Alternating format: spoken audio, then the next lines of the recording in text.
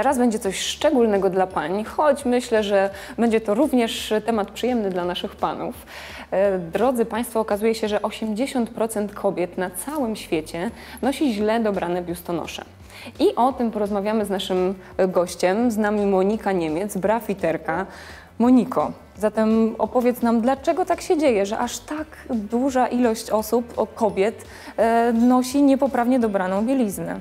Wynika to przede wszystkim z tego, że panie zazwyczaj, jak raz ustalą już sobie ten swój rozmiar, to zazwyczaj e, nie skupiają się na tym, żeby ten rozmiar e, gdzieś tam weryfikować czy zmieniać. Jest to też wygodne, prawda? Tak, wygodnie przychodzą do salonu, proszą najczęściej o 75B, taki bardzo sławny rozmiar i jakby tylko ten rozmiar powielają, natomiast nie skupiają się nad tym, czy ten biustonosz rzeczywiście dobrze leży. Dwa, że w większości salonów, może teraz już się to troszkę zmienia i jakby ta świadomość Rośnie. jest teraz e, tak, zdecydowanie większa, e, ale w, w Często panie jeszcze mówią, że w salonach e, takich, które nawet nazywają się salonami brafittingowymi, nie zawsze można dostać taką e, rzeczywiście fajną i rzetelną poradę. Okej, a jeżeli moglibyśmy się skupić na tym błędnie dobranym biustonoszu, jakie są e, najczęstsze błędy? Nasza modelka, wydawałoby się, że biustonosz ma dobrany fantastycznie, a drodzy Państwo, okazuje się, że jest wręcz przeciwnie. Tak, dokładnie. Często dobrze dobrany biustonosz, tak jak nam się wydaje, wygląda całkiem, e, całkiem w porządku, dopóki nie zaczniemy się w, w to bardziej wgłębiać. Najczęściej popełnianym błędem, prosiłabym, żebyś się odwróciła, o, najczęściej popełnianym błędem jest tak naprawdę zbyt luźny obwód. Nawet gdybyśmy tutaj zapięli modelkę ciaśniej, to widzimy, że obwód nam podjeżdża do góry i to bardzo często y, widać latem, zwłaszcza jak Panie mają przeźroczyste bluzki, że ten obwód nawet wędruje gdzieś tam na szyję. Nie wygląda to dobrze. Nie wygląda to dobrze. Dwa, też e, często panie boją się ścisłych obwodów, twierdząc, że będą wychodziły wałeczki. Natomiast przy tak e, dopasowanym, e, luźnym obwodzie, biustonosz podjeżdżając w górę, tych wałeczków nam jakby produkuje jeszcze więcej. Także dobrze dopasowany nie podkreśla aż tak bardzo ciała, jak wbrew pozorom ten zbyt luźny. A czy jeżeli jesteśmy przy temacie zapięcia, kupując biustonosz, zdaje się, że powinniśmy kupować go na, za, zapinając na ostatnią szlówkę. Dokładnie, Dokładnie. tak. W ten sposób powinnyśmy zapinać biustonosz, na tą teoretycznie ostatnią z tej strony patrząc e, haftkę, po to, że jeśli on się rozbije, bo zawsze biustonosz w trakcie noszenia, używania, prania rozbija nam się pod biustem, będziemy mogły sobie go później ściaśnić i on po prostu służy nam dłużej, spełnia swoje zadanie. Teraz em, powiedziałyśmy sobie o obwodzie. Dodatkowo, jeśli mamy zbyt luźny obwód, to bardzo często tutaj mamy luzy. I przy małych biustach podnosimy ręce do góry, a biustonosz razem e, Z nami. z nami, dokładnie. Przy większych zbiustach z kolei podnosimy ręce do góry, a biustonosz, biust w dół tak naprawdę. Także on w ogóle nie trzyma, nie, pod, nie spełnia swojego zadania. Także to jest kolejny jakby punkt, e, na który powinnyśmy zwrócić uwagę, czy ten biustonosz jest rzeczywiście Okej, dobrze Czyli dopasowany. przede wszystkim zwracamy uwagę na obwód. Dokładnie. On ma być dopasowany, ścisły, ale też nie za ciasny, więc jakby tą e, ścisłość też musimy odpowiednio dopasować. A co jeśli chodzi o miseczkę? Miseczka, no właśnie, wydawałoby się wbrew pozorom, że jest e, dobrze dobrana i nic tutaj jakby nie brakuje. Natomiast tutaj taki sygnał bardzo istotny to jest to, że fiszbina zostaje nam w piersi. I to jest też najbardziej, e, najczęściej popełniany błąd e, wśród pań. To też wynika raz z tego, że jest zbyt luźny obwód i teore- teoretycznie za mała miseczka, że fiszbina nam zostaje w piersi i tą pierś uciska. To ze względów zdrowotnych. No właśnie. Tak, może mieć no, takie smutne skutki, tak? E, Dlatego, że fiszbina, która przez cały dzień 8, 10, 12 godzin w ciągu dnia uwiera nam w tą pierś, e, powoduje różnego rodzaju zgrubienia, stany zapalne właśnie w okolicach piersi. A ramionczka? Ramionczka. Bardzo często panie skarżą się na to, że zsuwają im się ramionczka. Spadają, zsuwają się. Raz może to wynikać z tego, że jest ono mm, może nie do końca dobrze dopa dopasowane i wyregulowane, jeśli chodzi o długość, więc tą regulację trzeba sobie od czasu do czasu weryfikować i podciągać.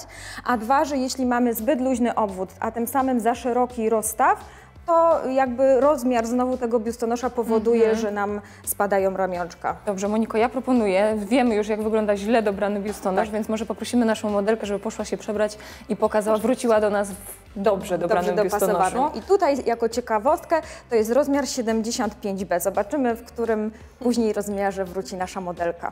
Jest już z nami modelka w dobrze dobranym biustonoszu, zatem zobaczmy jakie są te różnice. Dobrze. Zacznijmy właśnie od obwodu, bo jest to to rzeczywiście najistotniejszy element, jeśli chodzi o dobre do, dopasowanie biustonosza.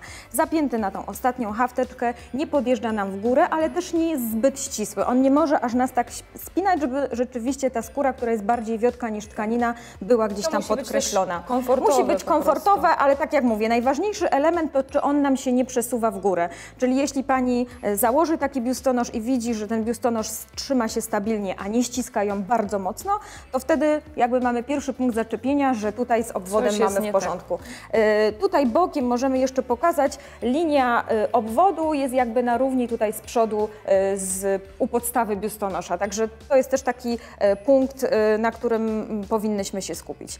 Teraz, żeby ocenić, czy miseczka jest odpowiednio głęboka i czy rozmiar jest dobrze dobrany, to przede wszystkim właśnie powinnyśmy go dobrze poukładać.